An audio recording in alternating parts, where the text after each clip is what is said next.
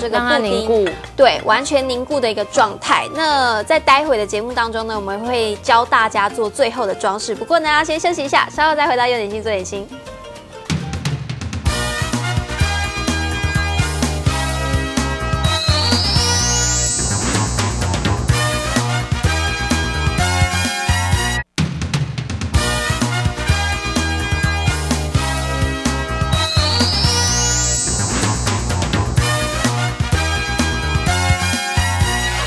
欢迎回到优点心做点心。今天呢，可爱的嘉颖教我们的这个巧克力布丁哦，真的是很简单，嗯对不对？巧克力西谷米布丁。刚刚我们前面呢、就是广告前，其实教大家对已经到了入模的一个嗯步骤，对不对？嗯然后我手上这个是还还没没有凝固的嘿，对，所以它还有一点点像流质的这状态。但是我们这边呢来看，就是嘉颖这边有帮我们准备冰好的，对这个好像冰淇淋哦，对对对对，对颜色也会变比较浅一对点，对不对对？所以一定要冰到这样子完全凝固才可以哦，嗯这个状态才是 OK。嗯那在最后的这个装饰上面，还可以再加一些这个比较华丽的吃法。但是在这之前呢，我们要先请嘉颖来帮我们回顾一下今天教大家的巧克力西谷米布丁的做法。嗯，我们先来煮巧克力的部分，就是用牛奶，然后细砂糖，还有香草豆荚，嗯还有奶油先把呃温度加到八十度 C，嗯把奶油跟砂呃砂糖融化。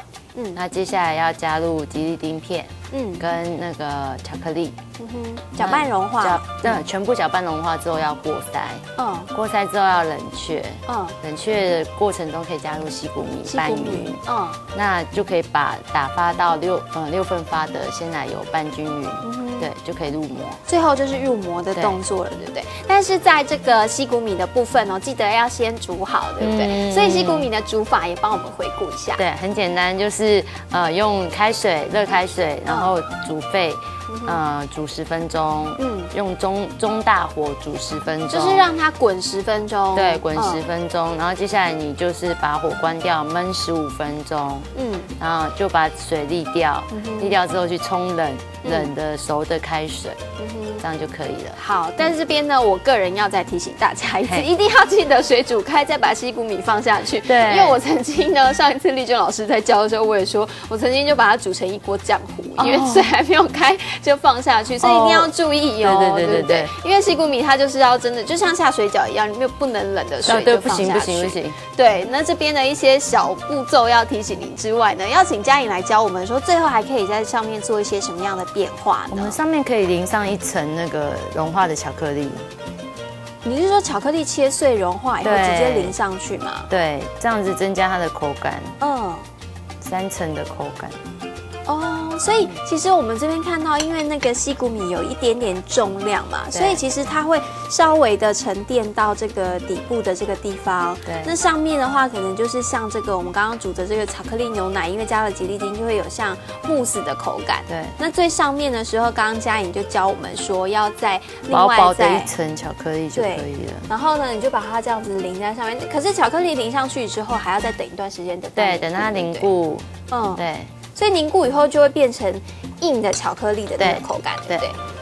好，然后呢，等它凝固了之后，这我们这边有事先凝固的这个，对就是已经做好的这边，那还可以再做装饰哦，对这样子还不够哦，我对们还要再更进阶、更点华丽。这个是什么？这是鲜奶油，哦，打发的鲜奶油打油。发的鲜奶油，嗯，那你就可以放上那个草莓或者是其他可以装饰的水果，就是你喜欢的水果对，的方面。你就是把它摆上来，哦，好漂亮哦！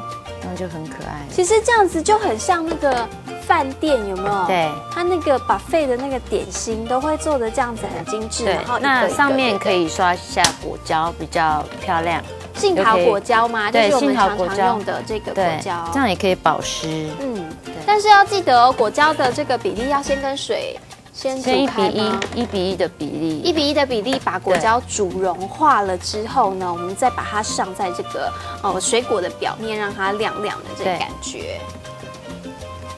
哦，好华丽哦！这感觉就是 可以，就是比如说你在家里办 party 的时候啊，啊就是放出来，然后大家可能会以为说你是去买的，去买的但其实你就可以很骄傲的说，嗯，这是我自己做的，对，对，然后接受大家的这些欢呼还有掌声。你就刷上果胶，要刷厚厚的一层，厚厚一层，或者是刷上两层也可以，这样就完成了。它如果有薄荷叶，可以放薄荷叶。哦，最后还可以在装饰上薄对荷叶，看你要装饰什么样子的东西都可以，嗯哼对，都可以。哇，好漂亮哦！给大家看一下，这个真的就很像那个五星级饭店里面的那个、嗯而且又很简单。对，很简单呢。其实要做慕斯，呃，只要说你那个吉利丁的那个比例抓好，嗯然后呢，你在这个中间的过程，说材料应该准备的都有了，其实一点都不难，对不对？嗯好，现在最重要的时刻就是我们要来试吃。好，所以我要来吃吃看。哎，对，上面好，上面其脆脆的实上面就是硬硬的感觉。然后下面是软的，对。然后呢，我要挖到一点那个东西，它其实很就是中间还很很像那个。冰淇淋的感觉耶。